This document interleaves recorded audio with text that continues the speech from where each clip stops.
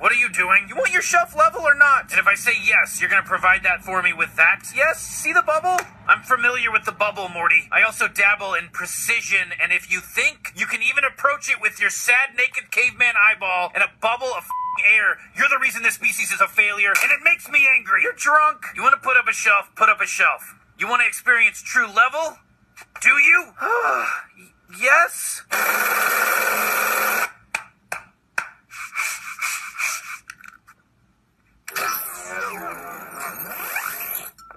All right, come on.